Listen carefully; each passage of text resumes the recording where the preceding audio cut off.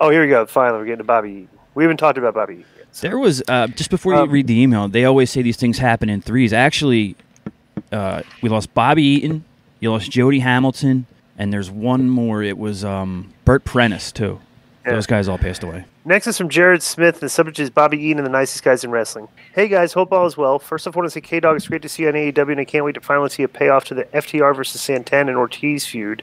My question is, with the recent passing of Bobby Eaton, I was wondering, did you guys have any interactions with him in WCW? Also, he had a reputation for being one of the nicest guys backstage. Aside from him, who were some of the nicest people you guys ever encountered backstage?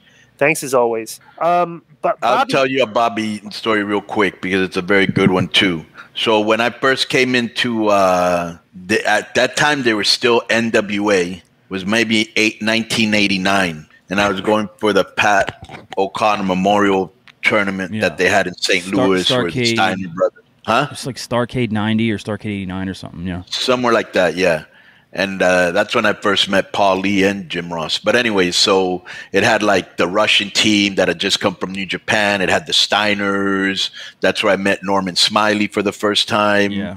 that's where i met ted petty Ted for the Petty. first time Yeah. yeah so anyways uh, Colonel- i was doing I was gonna say they Colonel- called him, they called him Colonel de Klerk, and he was on the South African team. Yes, Colonel de Klerk, right.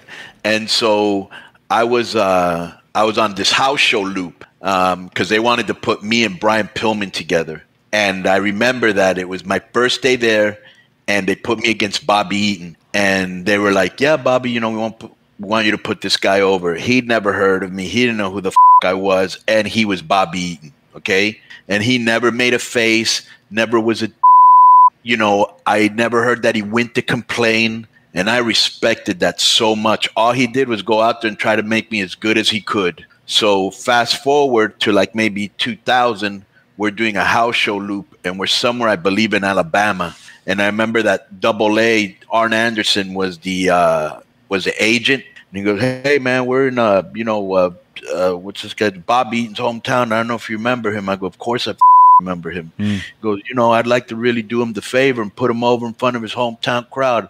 I go, whatever he wants to do, my brother. Mm. And bro, makes me almost want to cry, but it was cool, you know.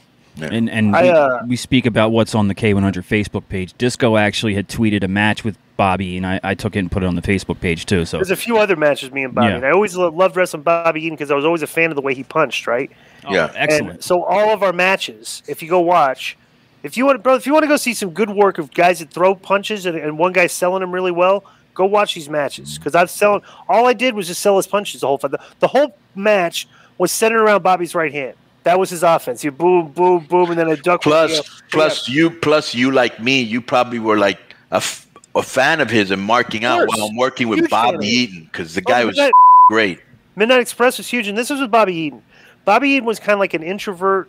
He was kind of socially Yeah. awkward and everything, but Very socially awkward. the guy's talent level was like off the chain. You know what I'm saying? It's like he was he, the per- perfect encapsulation. Bobby Eaton before Bret Hart was was the, the epitome of the excellence of execution.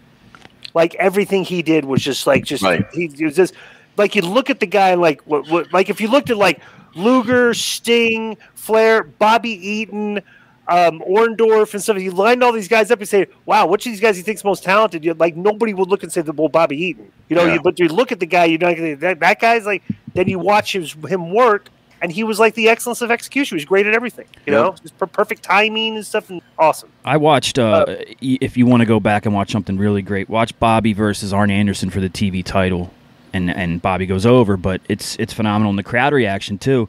And if you remember, Bobby was actually the first guy that went and put Steve Austin over too. Austin came in as like a one year rookie and beat Eaton for the TV title, but Bobby made him look, you know, spectacular. So